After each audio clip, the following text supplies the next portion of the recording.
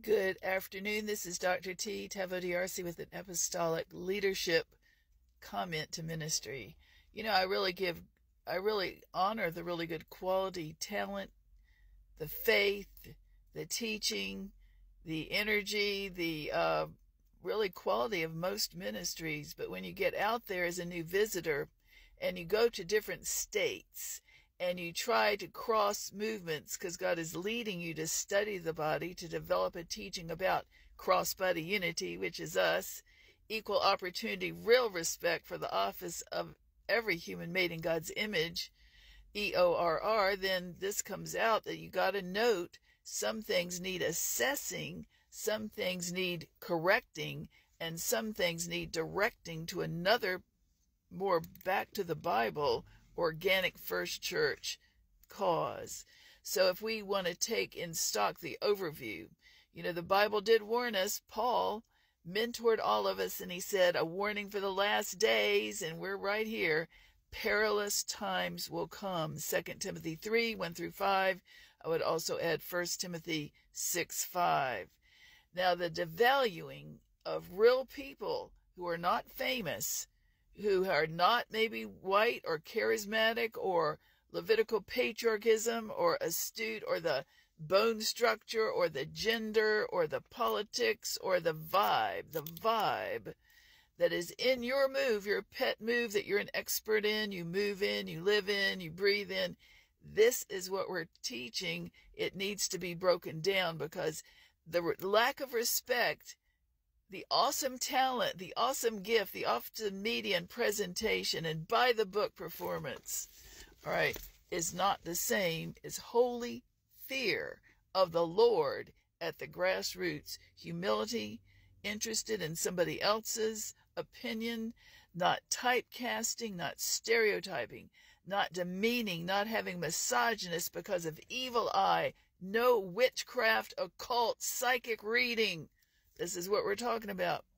Now, along the way, I got this bold because I matured. I went, I didn't realize it was occult now. I just didn't realize with from the late 90s on, after I saw in the body of Christ in Richmond, which is not like that then, well, I had a taste. The LP were there, but we'll go that another day. All right, it wasn't like this. So it wasn't Big Boss. But the issue is that in the 90s in 1996. The Lord had called me in 76, 20 years before, to study the body. I had my own ministry. I had, you know, it's cross body unity in, in action and in preference from the beginning. Nobody targeted me. Then we noticed the the more famous moves, the TV ministry, and then the wannabeism, the junior ministry wannabeism. Maybe you call me a junior minister, but I came from knowledge and great Bible teaching background, and then faith and patience, as well as just Billy Graham type on up. Nobody knows it all. I wasn't any I was just like an anonymous person, also finding my way, feeling very insecure once I got to the, you know, the spirit filled, because that was never how I was brought up and you want to make sure you're not off, you're not chasing the wrong thing, or you're not after any false motives. But I did see out in the field when the charismatic move came, and I was one for a while, um, I could see a difference in how people who were not raised, I guess, well, maybe were raised dysfunctional, maybe were the first person in their family that met the Lord and got on fire and was, you know, called to an office ministry nothing different. That's just a different backstory. They're equal. Nothing, nobody has a choice in their upbringing. So I was valued. I was respected, no bias, you know. So I have a perspective of education and low key servant leader good quality. And my esteem by God's mercy is not in my, you know, call or ministry or my look or my race. It really is. But I'm just giving as an example to stir it up.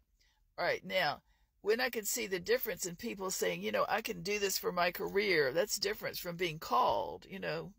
You meet people of all styles. So there was dysfunction there to, at the beginning, right at it, but not really because people were, you know, were all young, growing, and immature, pure-hearted. See, the pure-hearted factor was people still clung to the cross. You could still hear that. All right, nowadays, after 70, 96, Charisma magazine. I happened to pick up a copy somewhere. In the back had a warning, a prophetic warning by Brother Bob Buis. And it was a mini book. It said, A warning to the church in America. The spirit of entertainment and fantasy is going to try to attack and it has and that is what we see now with this you know a lot of more of the plus it grew giant and mega and cosmo i've been in cosmopolitan. I've been tiny churches black churches vietnamese churches because that was called over 40 almost 50 years. Hey i liked it. But i never got targeted i never knew i was going to be targeted i never suspected a person and go into a conference, a ministry that says it's Christian, would have people ready to target a visitor by type, by their energy. They could have talked to me. So this is what we've started to find in the the giant the giant expansion of conferences and mega and micro, but also the wannabeism, the good old boyism, the cults that grew, the cult protecting. I, I guess I trigger I didn't know it, but Baptists, you don't think like this, but charismatics do or did.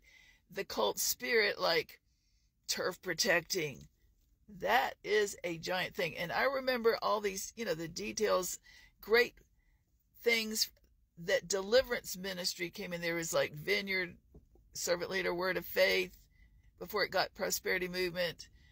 It's a different level. You know, people have different flows. And so they were cheerful and happy. I remember Word of Faith went back then, and no shepherding till later in some, not the top ones, it's the bottom ones where I would meet them, you know. So I remember the um, deliverance ministry came through, and I tried that, of course. I picked, you know, you're picking good and not. Then I realized, no, they never stop looking for devils. They're never really happy. And I'm happier than they because I don't look for devils. I know the faith movement. I know the Baptist, you know, I know the Word of God.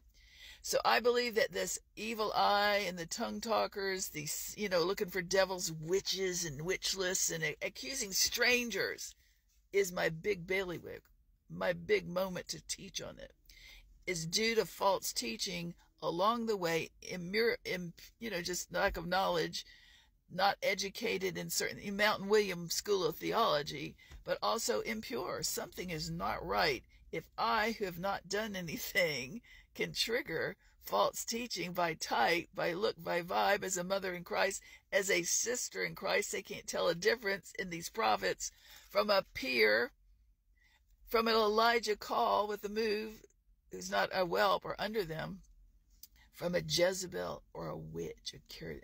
I want to. I don't want to talk like that. I don't. That's dysfunctional to think like that. But it is giant masses of mega, and their people, their fruit that I would meet throughout the nation, white, solid white, cosmopolitan.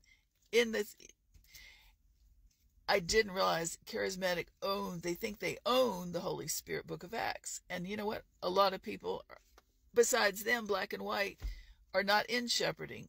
And they don't have that goal to be over. They don't teach submission that strictly. I mean, there's chain of command. I believe in it.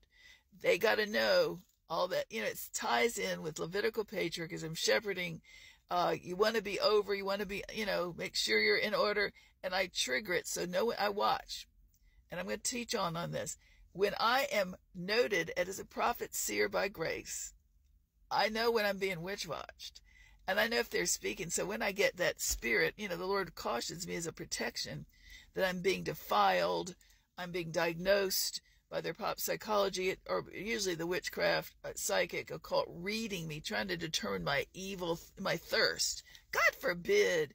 All right. I take it in stride because i know i'm there for a reason to study them back and see how they treat people with respect them disrespect what do they do this is why we're teaching passionately about dysfunction in our nation the the country gentrified gone whelp Western European Levitical patriarchism at the grassroots, following usually the famous person. And then I wondered, are they true prophets or not at this point? Are they true prophets? Those that read people, will not speak, have never confronted me. And even though I'm really choosing to, you know, God wants me to stir it up for the nation, it's because people that they they pick on people when they're down and grieving and